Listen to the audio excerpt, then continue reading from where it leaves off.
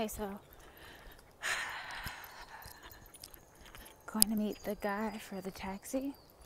Walking pretty fast because I was editing video to the very last minute.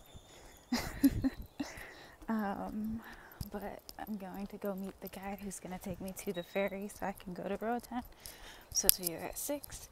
It is 5.55 and my blog is going to post without my video, which is okay. I'll get the hang of this.